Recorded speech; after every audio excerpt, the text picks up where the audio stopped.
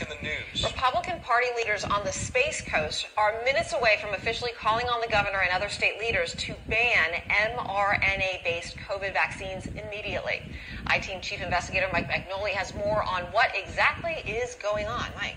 Good evening, everybody. Well, in their own words, the leaders of Brevard County's GOP say that they believe the vaccines are a biological weapon.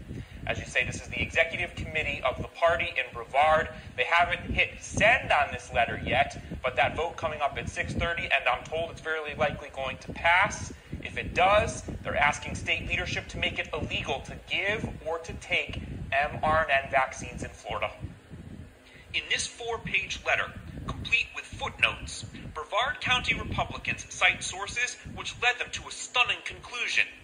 Here it is in their own words government agencies, media, and tech companies, and other corporations have committed enormous fraud by claiming COVID 19 injections are safe and effective.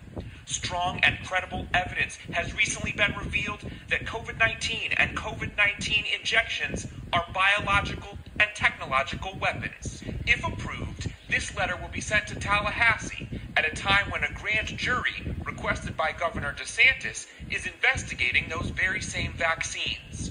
That grand jury's job is to determine whether pharmaceutical giants who brought the mRNA vaccines to market broke any laws and should face charges. It's already illegal to require anyone to get the COVID vaccine in Florida, but if state leaders go along with Brevard's request, no one in Florida would be allowed to get those vaccines. Today, the federal government sent a very different letter to drug companies, calling on them to make the COVID vaccines cheaper and more accessible, anticipating an increase in demand come flu season.